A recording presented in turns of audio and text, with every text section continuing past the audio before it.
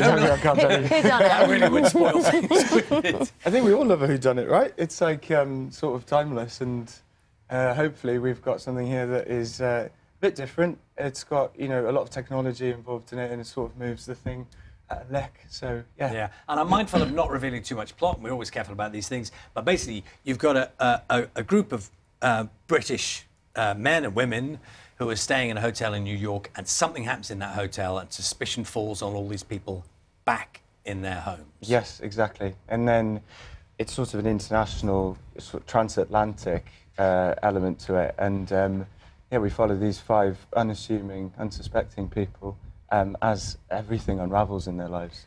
Who's I'm not going to spill the beans on that. The, um, no, but it, I found it tricky because the crew were all masked up, and you couldn't socialise in a way that you know we were used to socialising or get to know people.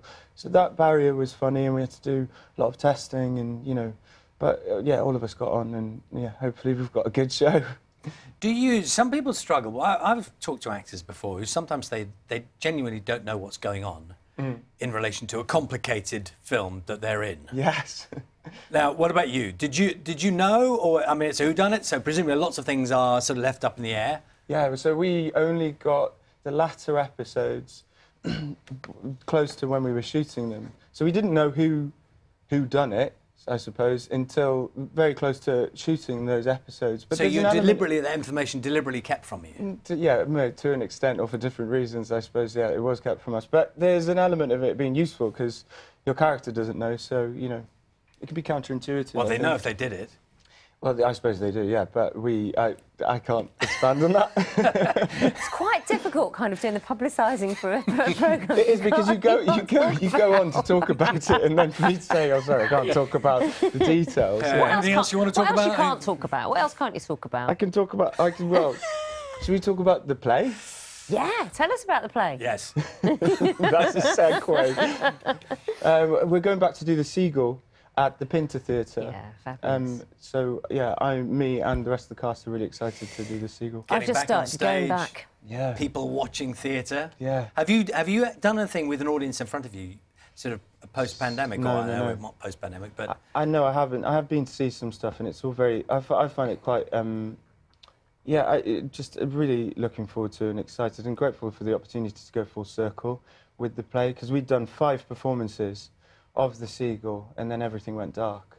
So then, plays back June 29th at the Pinter Theatre. You can feel it, can't you? In in theatre lands and you know around the country in cities, you can feel theatres opening up again and people kind of gradually going back. And the theatre industry, we spoke about this, you know, a year and a half ago when everything was shut, shutting down, was devastated Yeah. by the pandemic. And you know, it's not just the actors; it's behind the scenes as well. I can only imagine that when you start rehearsals, it will just be joyful. Well, yeah, I hope so, and I hope people feel comfortable going back with any anything that's in place to you know look after people's safety and health.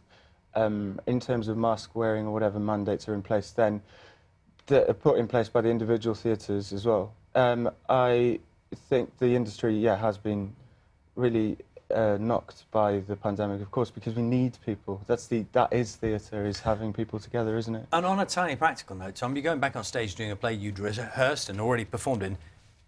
Is the script all locked in? have Can you just kind of open the box and out it comes again? I had, I have the script that is full of scribbles and notes from our first rehearsal process. And when we went dark, I closed the script and put it in a sort of box in the study, and I haven't opened it. So I think it'd be quite interesting to When are you going to open it?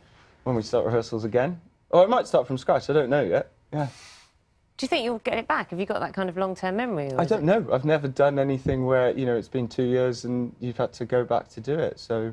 It'd be Interesting. I can't recall it now if I, you know, was put on the spot. Well, good luck with that. I can't remember what happened yesterday. Yeah, me neither.